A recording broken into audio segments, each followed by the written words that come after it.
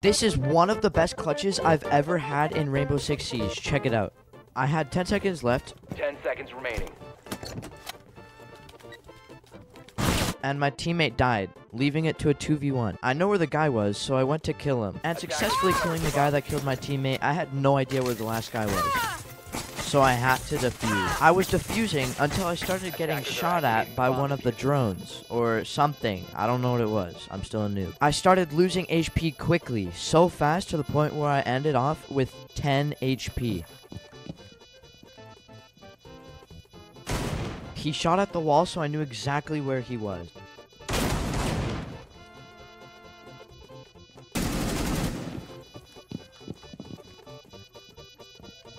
And then I get that dub.